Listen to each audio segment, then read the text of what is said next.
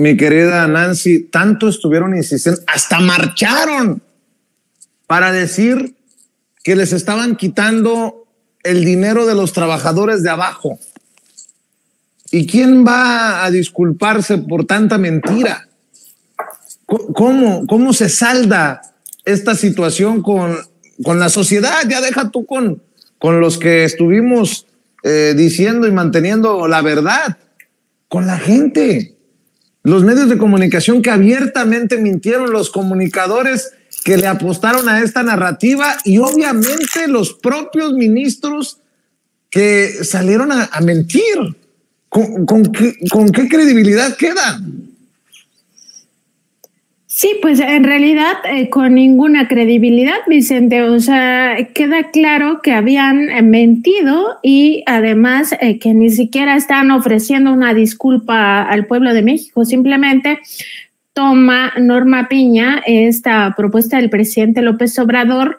como lo advertía la semana pasada, eh, también aquí en esta mesa de investigación contra líneas sin censura, el periodista Miguel Vadillo, ¿no? O sea, diciendo, pues el presidente le da una salida decorosa a Norma Piña en todo este asunto y al final ella lo toma como un salvavidas. Yo reflexionando un poco también en este tema, me parece que así fue. O sea que Norma Piña ya no sabía cómo salir de este brete en el que se metió y en el que estaban todos los ministros y ministras, eh, pues sí, defendiendo los privilegios, pero eh, lo que sí no vamos a, eh, o al menos es mi percepción, no vamos a presenciar una disculpa pública de este órgano jurisdiccional. por supuesto, el Poder Judicial en su conjunto no va a ofrecer ninguna disculpa. Lo que hace es pues tomar esta salida para ya eh, salir de este tema y continuar, digamos, con eh, el proceso siguiente, que es salvar el presupuesto con todas las canonjías que implicaba también el tema de eh, pues salvaguardar sus salarios de lujo porque no hay que olvidar que ellos van a seguir ganando eh, más que el presidente de la República, pero más unas cuatro veces más. Estamos hablando de que se van a seguir embolsando alrededor de 700 mil o 750 mil pesos mensuales y eso no se va a tocar. Entonces, por una parte, digamos que salen al paso de esta situación con esta propuesta que hacía el presidente López Obrador, porque ya para ellos el costo de negarse a... Eh, a participar en el rescate de Acapulco y Coyoca de Benítez era muy caro, el costo para ellos iba a ser muy, muy alto,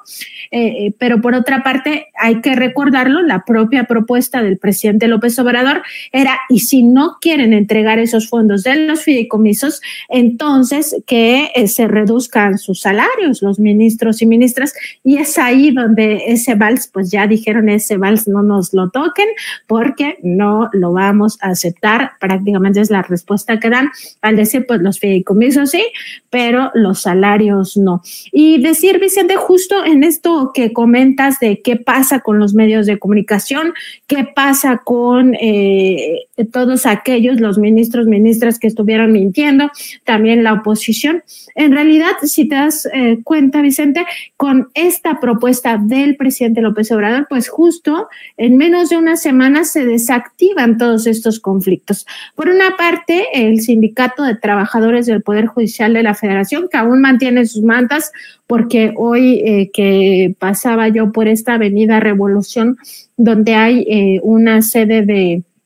el Consejo de la Judicatura Federal eh, al sur de la ciudad, pues eh, todavía mantienen sus mantas, pero pues ya son mantas vacías en un discurso vacío que nunca tuvo razón de ser. Pero ese conflicto del, eh, digamos, conflicto artificial del sindicato de los trabajadores ya no tiene materia se ha quedado sin materia porque la propia eh, líder del Poder Judicial, que es la ministra Norma Piña, pues ya dijo que el dinero se entregue a, los damnificados, ¿no? Eh, por otra parte,